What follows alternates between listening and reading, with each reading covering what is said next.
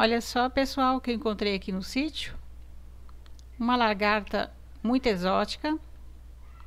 Bem diferente, né? Parece uma lagarta assim de outro planeta.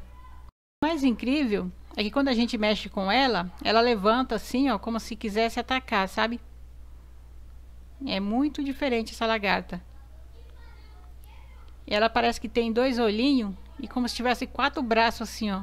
Parecendo aquele, aquele monstro daquele filme lá, o Predador. Aí eu resolvi pegar ela com esse galho aqui e mostrar para vocês.